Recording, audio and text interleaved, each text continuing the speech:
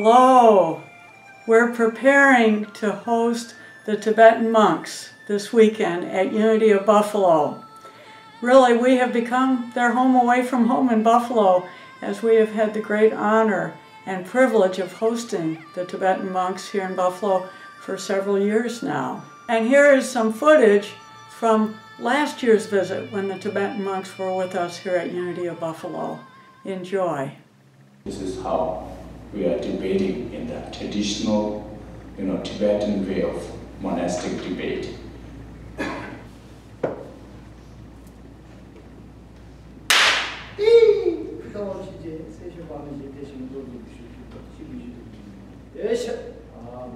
Yeah.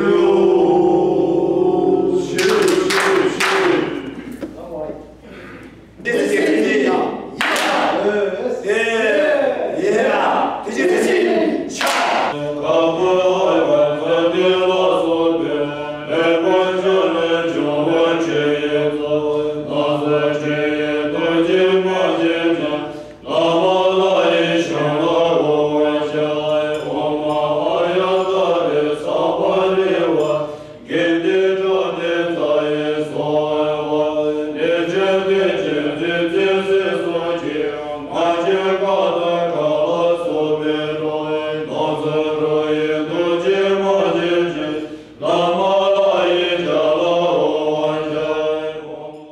It's really just another great example of how Unity of Buffalo is a spiritual and cultural arts center for Western New York.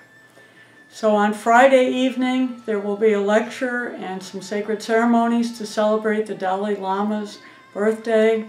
And then on Saturday evening, also a very special lecture and sacred ceremonies where they'll be uh, hanging flags and uh, doing some of the, the uh, traditional Buddhist practices. And then on Sunday morning, during our Sunday service, the monks will be joining us and leading our meditation and be available each day, actually Friday evening, Saturday evening, and Sunday after our service for a meet and greet and an opportunity for us to, to personally get to know them. And I wanted to share with you the traditional Buddhist greeting. And it's actually just to put your hands together in a prayer position and make a small bow in silence.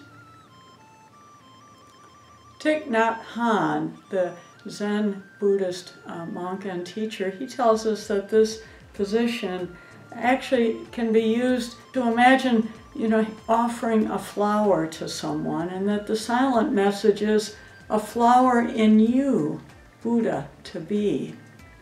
Seeing or connecting with the Buddha within myself and the Buddha within you, honoring that union of the Christ presence within myself and within each and every person. So we look forward to greeting you this weekend and beholding the Buddha in you.